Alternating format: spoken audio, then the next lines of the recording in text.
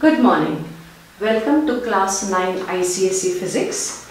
And now we continue with our upthrust Archimedes principle and flotation. Part 3 video this is and we are coming now to flotation. Flotation begins with the concept of flotation when the body floats what is happening? The weight of the body which acts vertically downwards it is going to be supported by the upward force which is the which is the upthrust. So the principle of flotation we talk about the weight of the floating body is equal to the weight of the fluid displaced by the immersed part of the body. Now the weight of the fluid displaced by the immersed part of the body is also the upthrust. In other words, the weight of the floating body is equal to the upthrust. Our first numerical under this is to derive the formula that density of solid upon density of liquid is equal to the volume immersed upon the total volume. Now for a floating body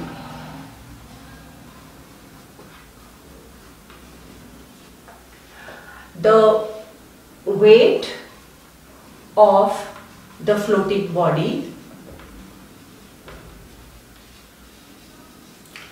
is equal to the upthrust in the liquid in which it is immersed.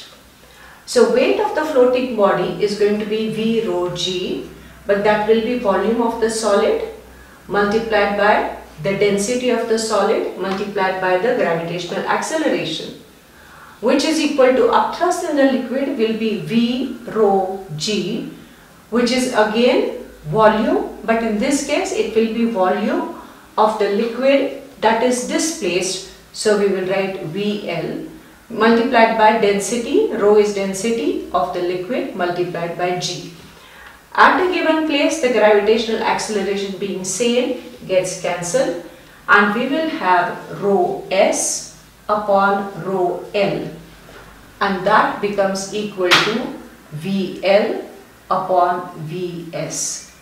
Now the density of solid upon density of liquid is going to be now density of solid upon density of liquid is going to be volume of the liquid displaced.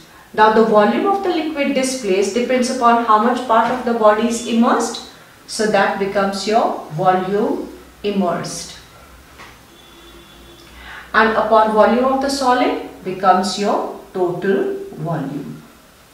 And therefore you will have rho S upon rho L is equal to the volume immersed upon total volume of the solid which is floating and that is our answer. Let us come to the second numerical. It reads, a wooden block floats with two-fifths of its volume above the surface of water. Find its density in SI unit and all they have done is you have been given the density of water. Now we are going to use the formula which we derived in question number 1. For that we'll have to make a few assumptions. We'll say let the volume of block equal to V centimeter cube. Therefore, volume above water is going to be 2 fifth of V centimeter cube and therefore volume immersed that is below water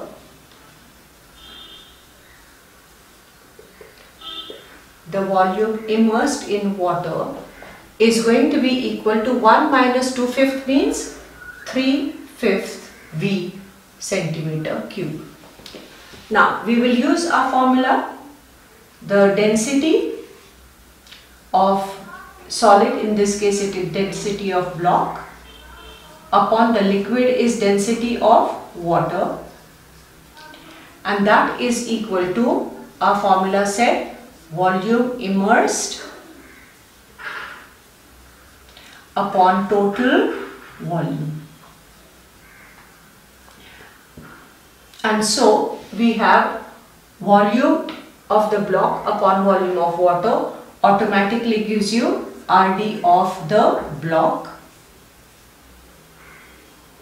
and that is equal to volume immersed is 3 fifth V centimeter cube upon total is V centimeter cube. Rearranging the terms you will have 3 fifth V multiplied by 1 upon V as the centimeter cube gets cancelled and you will have RD of block is 3 fifth which is 0.6 but they are asking you density in SI. So for density in SI,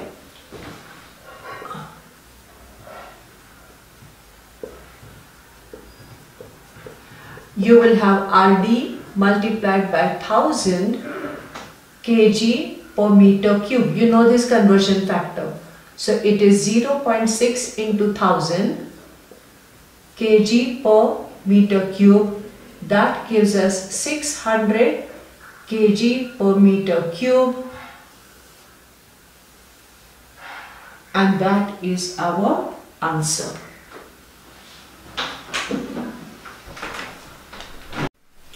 Now we come to the last question in this video. We have question 3 reading. Density of ice is 0.9 gram per centimeter cube and that of sea water is 1.1 gram per centimeter cube. What fraction of ice will show above the surface of the sea water? You have been given the two densities, the density of ice and the density of sea water. So, let us use the same formula that we have used earlier. We have density of ice upon density of sea water in this case and that is going to be equal to the volume immersed upon total volume. Volume of ice is 0.9 gram per centimeter cube and the density of sea water is 1.1 gram per centimeter cube. So that is equal to volume immersed upon total volume. And so the units will get cancelled and you will have 9 upon 11. 9 upon 11 will be equal to volume immersed upon total volume. And so you will have volume immersed will be equal to, bring total volume here this side, so it will be 9 11th of the total volume.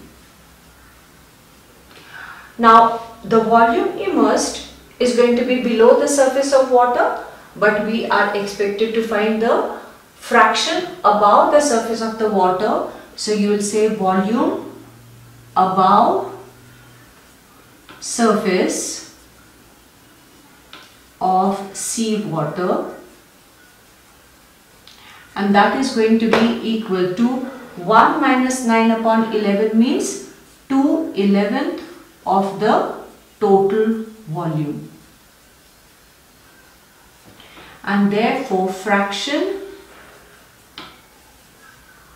above the surface is going to be 2 11th of total volume and that is our answer. So I'm sure you will be able to handle the other numericals based on principle of flotation. Thank you for watching.